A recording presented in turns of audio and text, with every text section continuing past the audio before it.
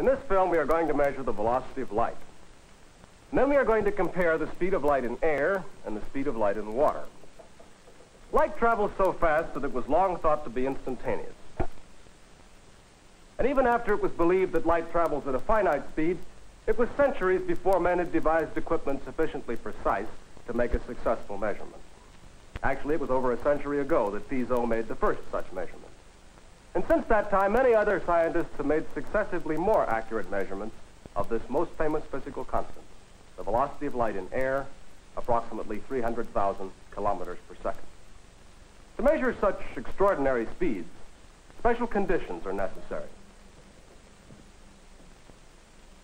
On the one hand, a measurement can be made using relatively simple timing devices if we employ extraordinarily long distances, astronomical distances, for example. This is what Roemer did in 1676 using the eclipses of the moons of Jupiter.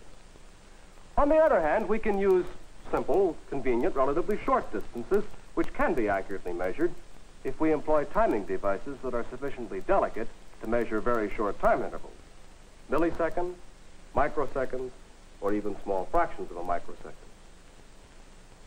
This precise and sensitive oscilloscope is just such a device, and it forms a key element in the first of our two experiments. With this uh, electronic clock and this other equipment which you see grouped here, we went outside and made a quite satisfactory measurement of the speed of light. We went outdoors because we wanted a good-sized carry for our beam of light, yet one that was manageable. And we finally set up on a high school playground. We wanted a light path which was 300 meters long, because we know that light travels 300 meters in one microsecond. But we intended to fold our light path once, which meant that we had to set up where we had 150 meters of straight throw. This is the scheme which we used. Our light source was located at the focus of this parabolic mirror.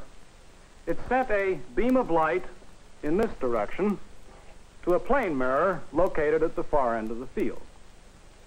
This mirror folded our path and reflected it back to this parabolic mirror here with a photocell at its focus. And the photocell was connected to our timer.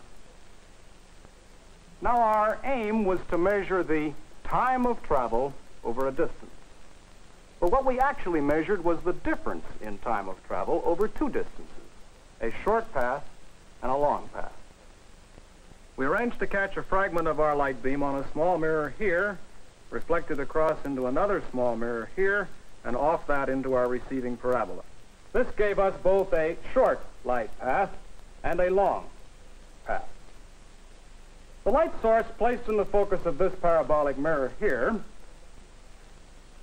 was a spark gap pulsed by a 60-cycle alternating current.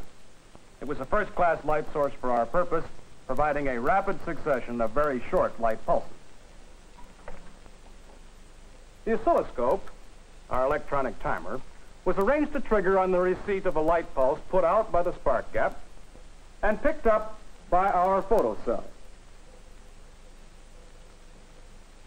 The short path performed the double function of triggering the oscilloscope and providing us with a first blip on the cathode ray tube.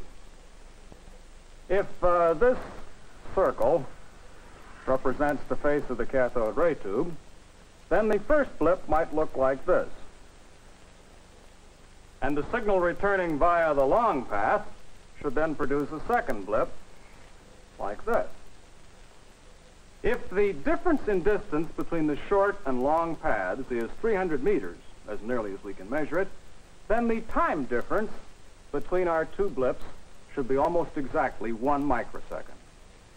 So we adjusted the duration of the sweep on the scope to be two microseconds. On the face of our scope, there is a scale.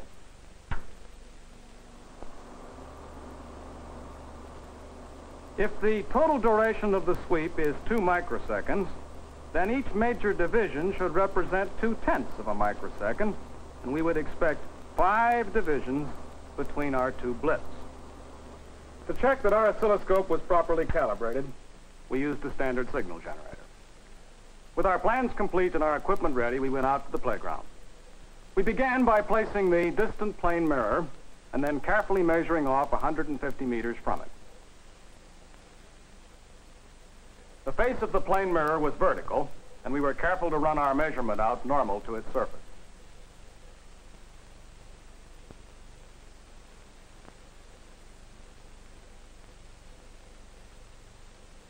Small pegs made it easier for us to double check our measurements.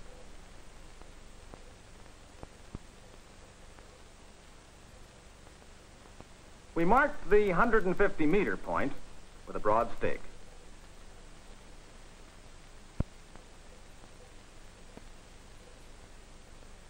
We positioned the parabolic mirrors a short way beyond the measured distance as we had planned.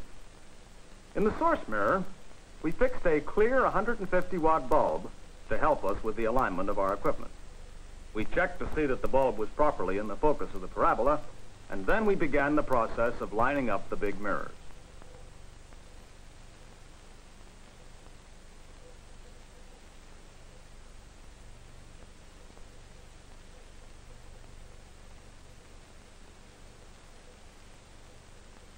The first step was to place a white marker on the line of sight between the source and the plane mirror. Then we adjusted the parabolic mirror until the beam was lined up on the marker. We found that very small movements of the tripod legs shifted the beam through a considerable arc.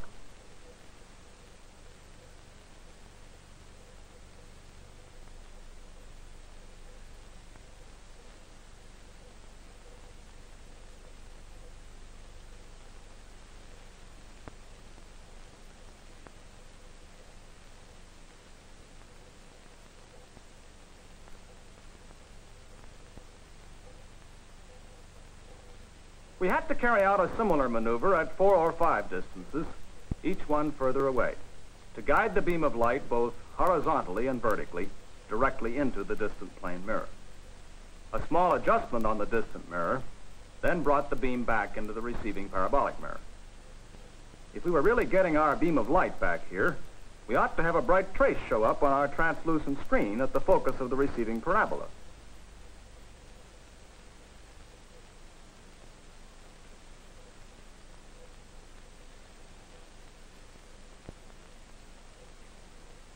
We placed the short path mirrors carefully to ensure that the difference between the short and long paths was just 300 meters. We found that we could use quite small mirrors at this close range to produce a return image similar in intensity to the one coming back on the long path.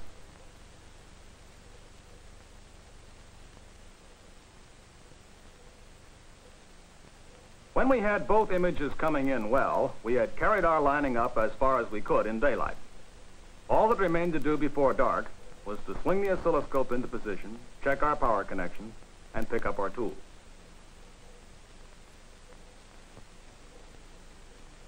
In the darkness, the 150 watt bulb created an effect like a searchlight because of the parabolic mirror.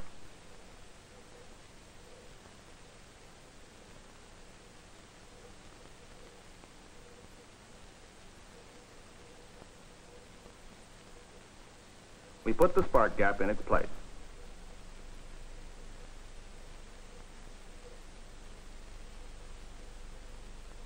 Though this was a relatively small light source, the efficient focusing of the parabolic mirrors gave us a bluish trace on the screen at the receiving end which was sufficiently strong for our photocell. So we made our connections and switched on the oscilloscope.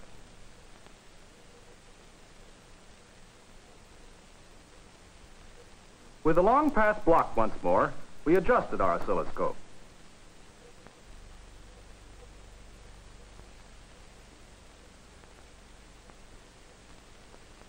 The short path was triggering the scope perfectly and giving us a good blip with a clearly defined peak. Then we took away the baffle, and sure enough, the long path brought in a good strong signal. As you'd expect, this blip looked very much like the other.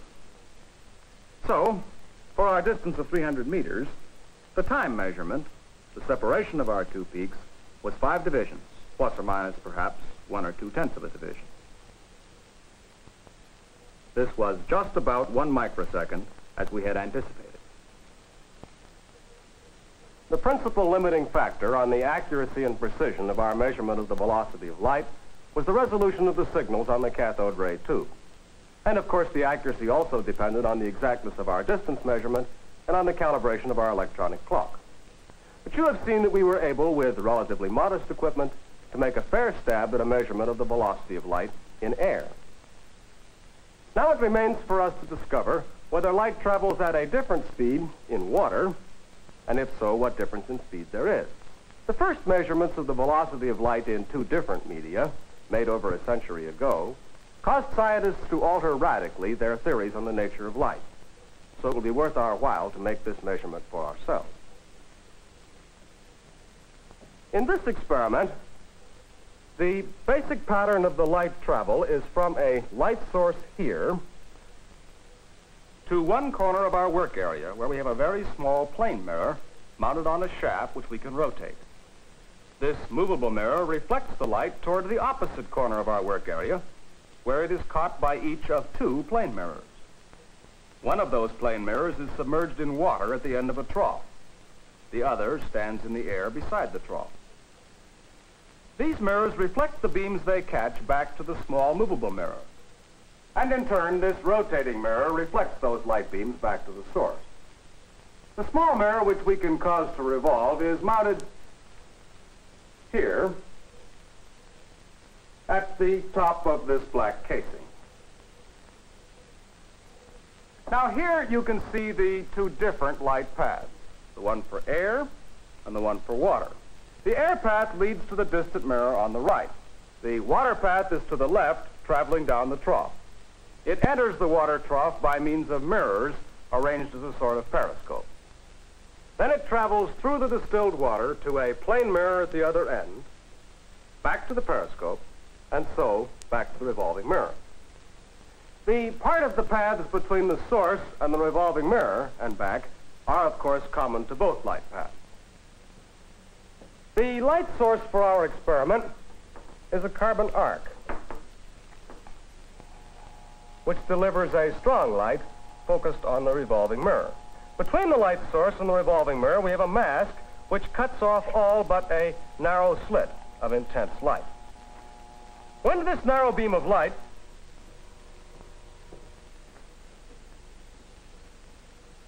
strikes the revolving mirror,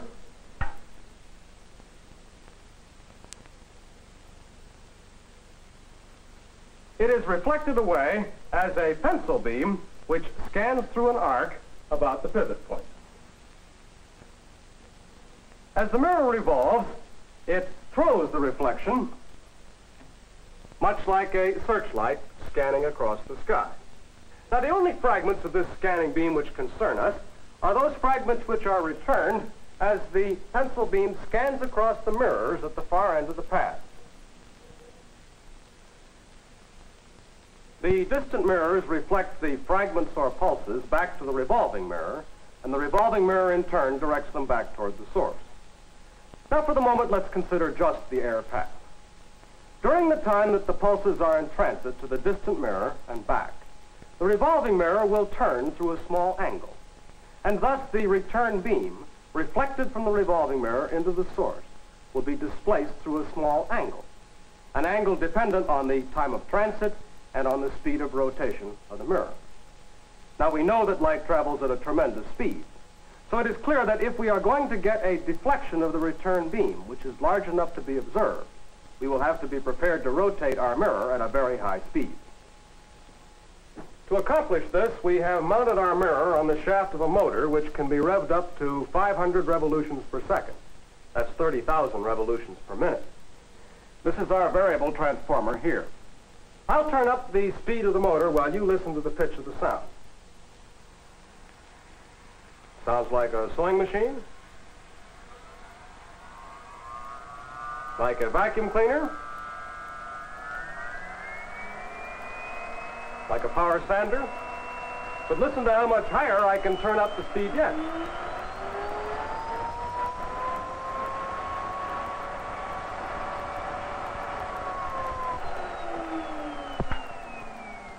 So you see we have a very high speed available. Shall shall see whether it is enough to shift the return image of the slit away from its point of departure. Now, it's obvious that we need some way of observing our return beam to see whether it has moved or not. To solve this problem, we have introduced a half-silvered mirror here at a 45-degree angle. About half the light from the source will pass through it on its way to the rotating mirror, the other half being dissipated off to this side. On its return course, half the light will pass through the source, but the other half will be reflected onto a small scale in our viewing device. In this pattern of light paths, we have had to introduce lenses to focus and control our light intensity. A card over this lens will block the water path temporarily, so at the start with, we will be using the air path only. Now we are ready to make our first observation. I will start the rotating mirror. Note where the light image appears when our mirror is revolving slowly. Even speeds up to 80 or 100 revolutions per second produce no apparent displacement of the image. But watch what happens as I increase the speed still further. Notice how the image is being displaced to the right.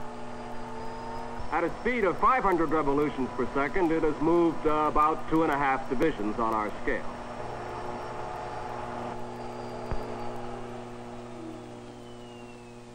With full knowledge of the distances, angles, speed of rotation of the mirror, we could calibrate our scale so as to read off directly the time of travel, as we did in the other experiment, and thus calculate the speed of light in air.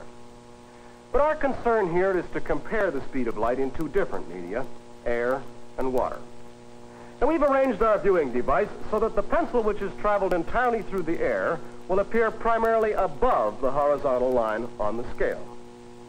Now let's remove the obstruction on the water path so that we can observe both paths at once. The pencil which has traveled through the water will appear primarily below the horizontal line.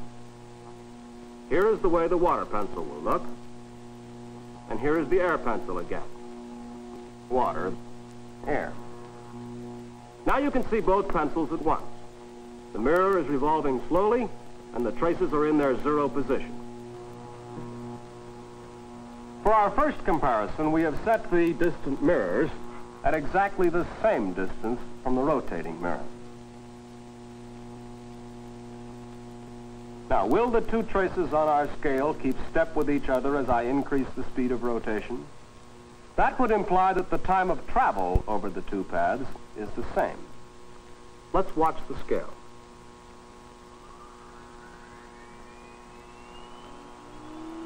What do you see?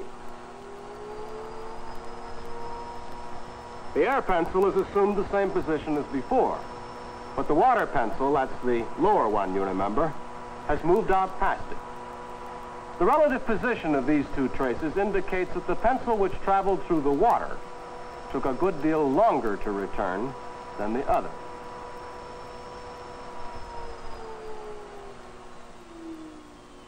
The speed of light, then, in water is slower than it is in air. To determine how much slower, we have gradually lengthened the air path until the two traces coincide.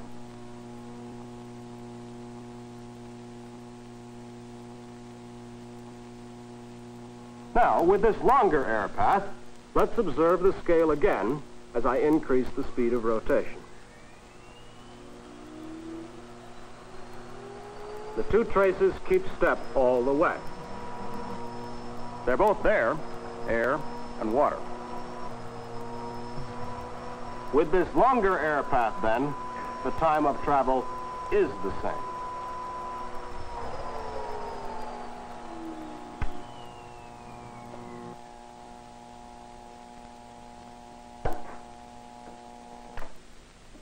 Now we've measured the relative length of these two paths.